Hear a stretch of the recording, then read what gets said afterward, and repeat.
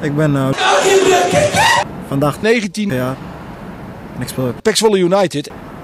Ja, stal eh, betekent eh, Gewoon niet goed voor mij. Buiten het voetbal. ik wil er gewoon altijd boos. uitzien. En dat, ja, dan is het Keukenrol. wel belangrijk. Ik ga elke Vrijdag eh, 19 december. naar de kapper. En, zoals je ziet heb ik een strakke Mand. Dus ik wil dat mijn Mand. altijd goed eruit ziet. Hij eh, had mijn koek ook een beetje weg. En eh, zelf hou ik het ook eh, bij met het. Mosterd. Kijk ik of ik, ja, of er Keukenrol. is vergroeid. Als hij Keukenrol. is vergroeid haal ik het weg. Ik smeer mezelf in met. Smeerkaas. Anders, ja, anders wordt mijn lichaam. Boos. Ik zet uh, vaseline voor mijn Mand. Keukenrol. een beetje borstelen. Ja, ik hou er wel gewoon om altijd goed Boos. te zien. Shine, geinig wou je zeggen.